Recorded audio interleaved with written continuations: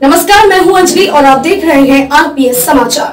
तो चलिए शुरुआत करते हैं आज की बड़ी खबर से। मूक बधिर किशोरी से दुष्कर्म करने वाले को सात साल की सजा। सदर कोतवाली क्षेत्र के एक गाँव निवासी पिता ने पुलिस को दी गई तहरीर में बताया था कि उसकी नाबालिग मूक बधिर पुत्री को 1 जुलाई 2017 को आरोपी मौली बहला फुसला कर अपने घर ले गया और दुष्कर्म किया। 2 जुलाई को बेटी ने इशारों से मौली को देखकर घटना बताई। पुलिस ने तहरीर के आधार पर रिपोर्ट दर्ज करके जाँच शुरू की और आरोपी को गिरफ़्तार करके जेल भेज दिया। विवेचना कोतवाली प्रभारी अरविंद सिंह ने की और जाँच में आरोपी को दोषी पाते हुए 18 सितंबर 2017 को न्यायालय में आरोप पत्र प्रेषित किया। आरोपी घटना के समय से ही जिला कारागार उन्नाव में बंद है। शनिवार को आरोपी ने न्यायालय में अपने अधिवक्ता द्वारा जुर्म स्वीकार करते हुए कम सजा की याचिका की। न्यायाधीश ने आरोपी को सात वर्ष की कारावास की सजा सुनाई है।